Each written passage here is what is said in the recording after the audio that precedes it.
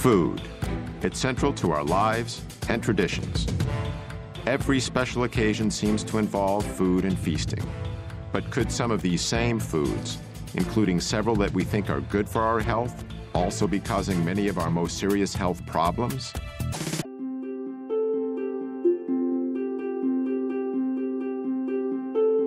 The idea of using nutrition to promote good health is nothing new. Indeed, Hippocrates, the ancient Greek father of Western medicine, said, Let food be thy medicine over 2,000 years ago.